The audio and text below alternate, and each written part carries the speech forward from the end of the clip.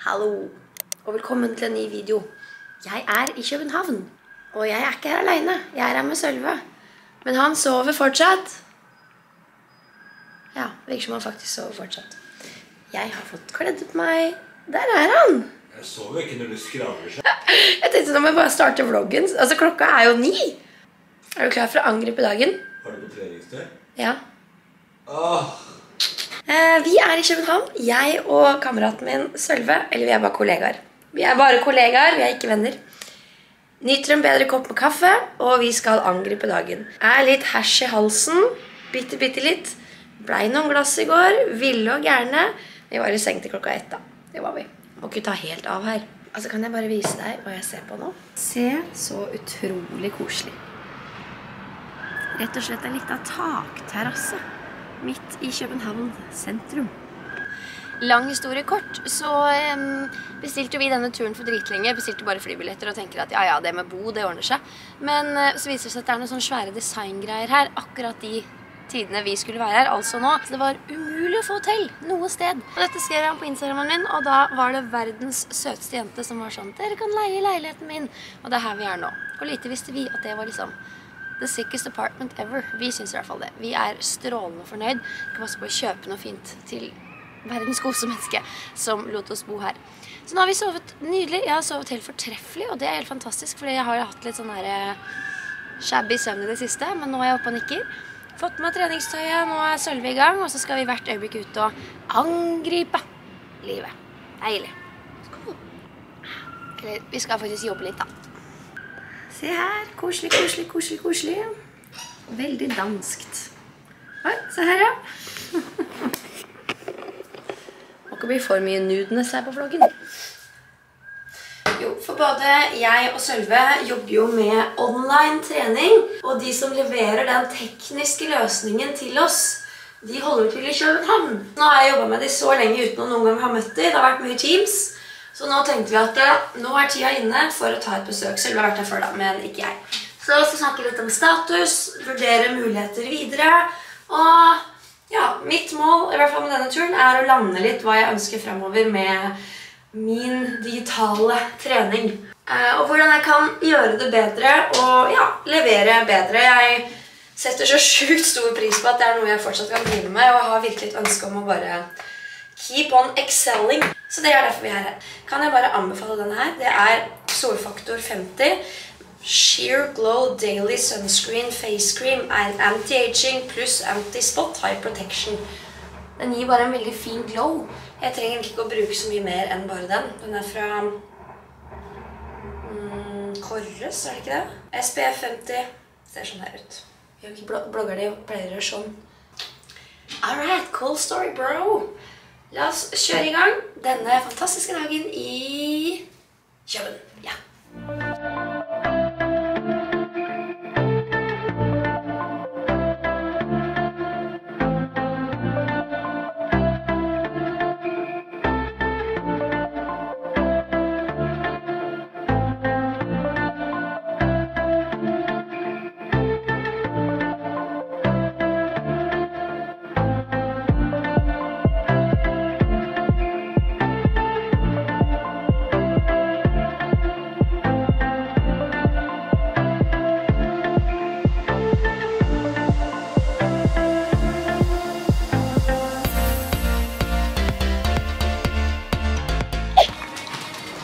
Dette er faktisk livets første iskaffe for meg.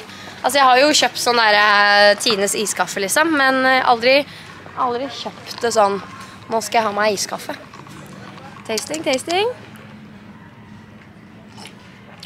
Ja. Kald, kaffe. veldig sånn kald kaffe. Var det en bra iskaffe, syns du? For jeg tror vi tok minus sirup, og det tror jeg er sånn Ja, det gjør jeg alltid. Ja, men da er det en kald kaffe. Jeg, skal gi, jeg gir denne iskaffen en seks av ti. Ok, Så det var ikke den beste du har smakt? Ok, Men skål. For de har ikke shaka den, og det er viktig. Check, check, check. De har ikke shaka den. Moving on til Bun-kontoret. And our important business meeting. Yes, very important people. In our gym wear. Yes. That's why we're here. Yes. We're very business people. Yes, very important people. Working all day, no pleasure. Uff. Ok. Jeg Hei. skal foreslå til Fredrik i dag at eh, Jeg skal spørre om jeg kan starte OnlyFans. Kan du ikke filme det? Skal, dette, er, dette er ikke til film. Det syns jeg du skal gjøre. Hei!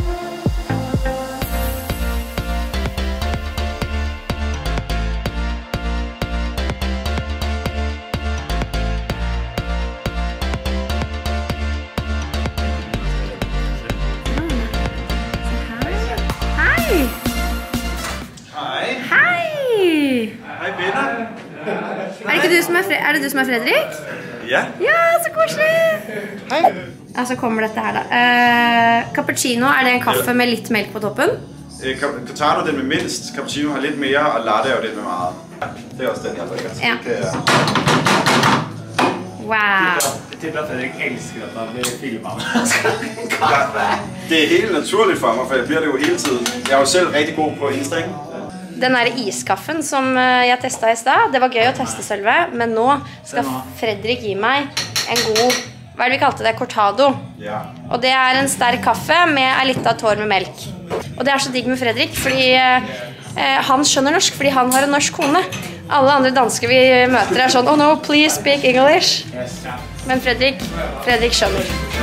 Fredrik forstår oss. Yay.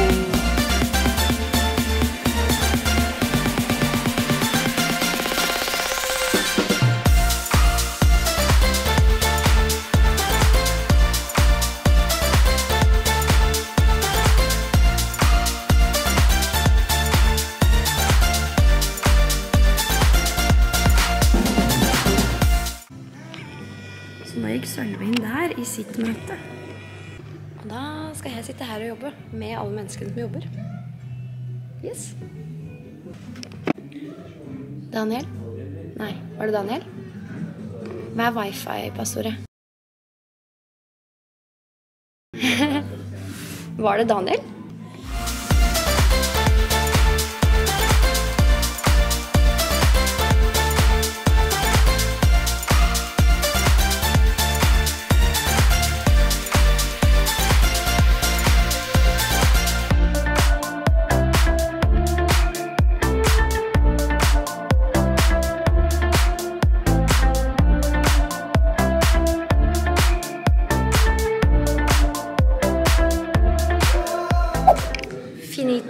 Finito with meeting. Nå er klokka 15.19 for å være eksakt.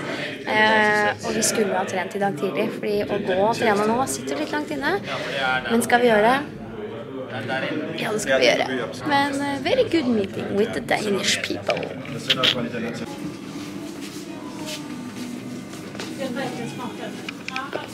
Sølvi, vi skal ikke sitte her og spise de. Ja.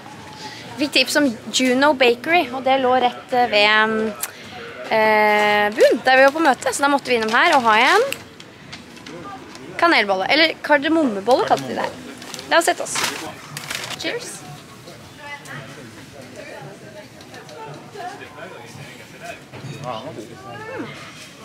Den var litt sånn moist. Den er ikke som den på Walker i Drammen som jeg la ut på Insta-story her om dagen. Nei, det er en vanlig bolle. Ja, en vanlig bolle med mye sukker på. Ja. I'll take it. Men nå spiser vi den her. Går og trener akkurat så mye som jeg har lyst til. Rusler hjem. Dusjer og går ut igjen. Mm. Trening neste.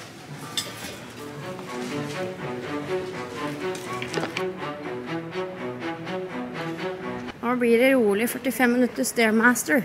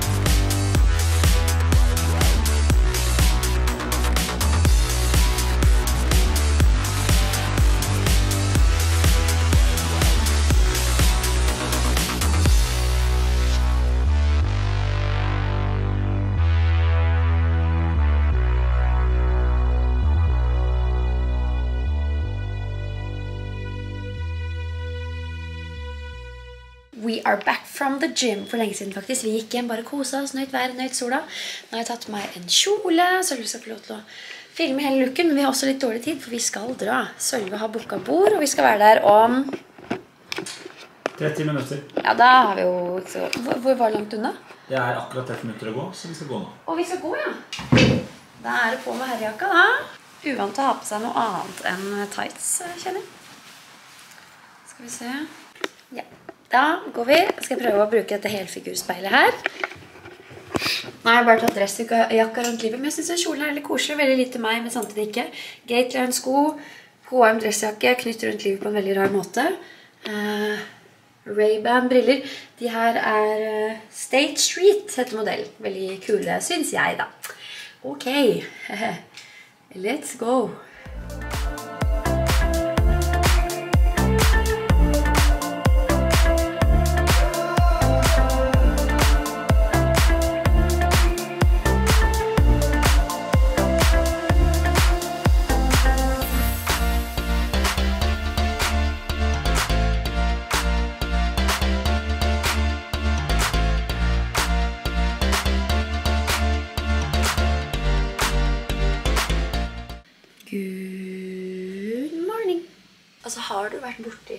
Lysere rom? Dette er et soverom uten gardiner. Men jeg har faktisk sovet meget bra, takket være mitt life hack. Jeg har sånn lys på hytta òg, så jeg er avhengig av sånne sovemasker. Nydelig. I dag er det fredag. Det er andre dagen i København. Vi skal fly hjem i dag. Men eh, først skal vi trene og spise på en kafé som vi gikk forbi i går. Vi bare var sånn, ok, her må vi spise. Men først skal vi trene, og i dag er vi litt mer noe time schedule. Så jeg tror jeg må få opp Sølve. Høre om han lever. Sølve, lever du? Er du klar for å angripe dagen? Kan jeg titte inn? Hei. Du vlogga jeg nå. Jeg gjør det. I'm always vlogging. Sånn har det vært. Du har vært god. Det er bra. Nok en gang. Nå gleder jeg meg så til vi skal trene. Ja, du gjør det. Herregud, jeg, jeg har drømt om det. Åh, Gud, jeg skal ha en sånn crossfit-økt, kjenner jeg. Fake it till you make it. Åh, Men det blir deilig, da. Og det sola skinner. Vi skal på Café Livingstone etterpå. åh, Gud, så positiv du er. Det blir fantastisk. Og på grippedagen nok en mulighet til å være den beste versjonen av deg selv. Selv elsker det når jeg snakker sånn. Ja, jeg gjør det egentlig. And that's why I do it. Men oppe oppe, vi skal teste en ny sats. Blir ikke mer spennende enn det. Tralala. Litt kaffe og kanskje ei lita Nocco i høyrebeinet først. For det er vel veldig trendy å gå med genseren. Det er noen år siden. Hvis jeg går sånn her nå, så er jeg en klein 30-åring. Det var litt rart. Altså, jeg forstår ikke konseptet med at du har rumpetaska her man kan ha den her. Jo, det gjør du. Så, Ja, altså, jeg, er enig- nei, jeg ser poenget. Altså, Ja. Det ser greit ut. ja. Men hvorfor da ikke bare gå med en veske som er laga for å ha deg? Sier du nå at du har tenkt at jeg har vært rar hele tiden fordi jeg har gått med rumpetaska ja, feil vei? Pia, jeg har tenkt at filmer du det her, ja. Ja. ja. Er en freak. Helt siden dag én. Men nå er du bare Og det hadde ikke noe med rumpetaske å gjøre, si. Nå er du mer spiselig rar. Ja. Du trener samme tirsdag som i går, ikke sant? Jeg har ikke noe mer stemme med meg. Ja, det. Trengte du å få det på film at ikke jeg skifter klesstemmer? Nei, jeg har ikke gjort det heller. På sportsprogrammet jeg lukter litt rart. Oh, nå blir det noen views her. Jeg vil ha Onlyfansen min, da. Drømmer om den. Sportsprogrammet lukter litt rart, men det så vi. Ja, men det går fint, for den T-skjorta her, den lukter også litt rart. Ja.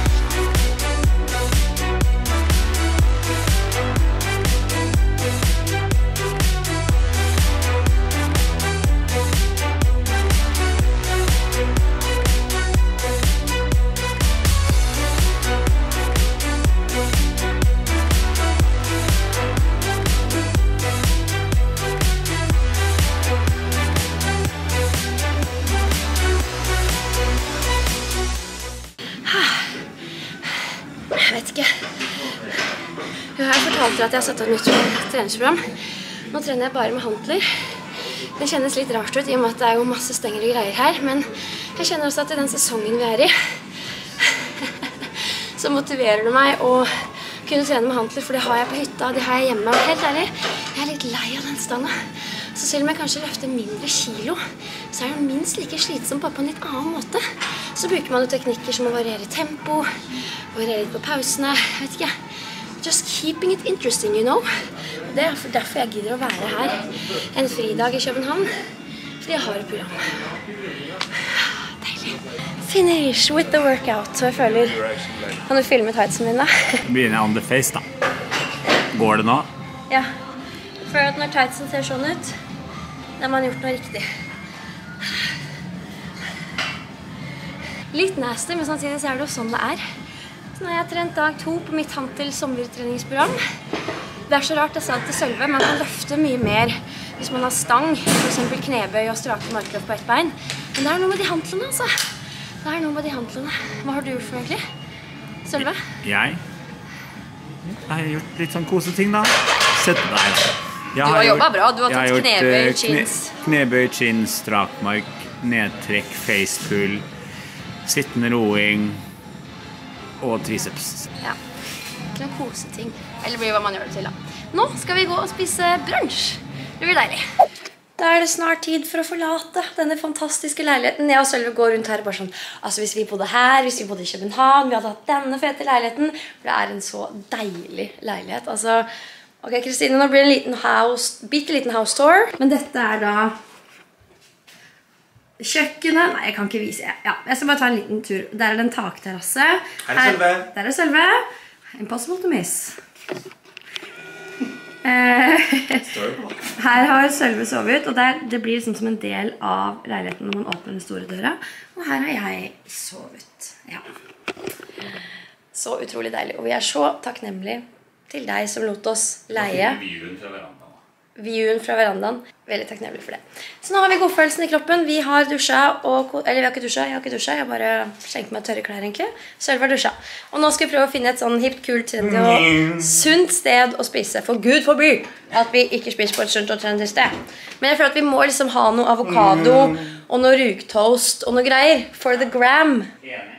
Og nå en smoothie og en acai bowl. Ja, dere vet. Vi får se hva vi finner. Men verdens beste leilighet. Takk for oss. Hvem vet? Kanskje vi kommer tilbake. Kristine, vi gjør det. Ja, det gjør. Kanskje vi gjør det.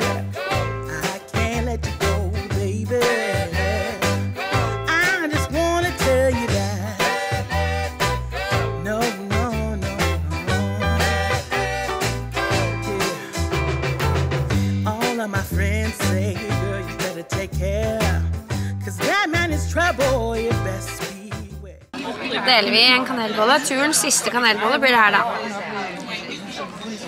Mm. Varm og seig. mm. Sitter vi bare og trykker litt nydelig mat før vi skal hjemover. Vi har ikke snakka om hvor fornøyd vi er med egen tur. Eh, og grunnen til at jeg er her, var jo for å møte de som driver online-treninga og legge litt sånn planer framover. Og ja, vi har begge hatt en veldig sånn god opplevelse og gleder oss til høsten. Så jeg kommer til å fortsette med livetrening. Det er jo liksom hjertebarnet. Men um, jeg har også lyst til å skape noe som gjør det litt lettere for meg å trene litt tyngre med dere som er på senter. Så det er litt planer for høsten. Og ja, det vi har snakket om her. More, more to come. Stay tuned. Nå skal vi spise opp, og så header vi mot flyet. Så jeg tenker at jeg avslutter videoen. Tusen takk for at du var med, og så ses vi snart. Ha det!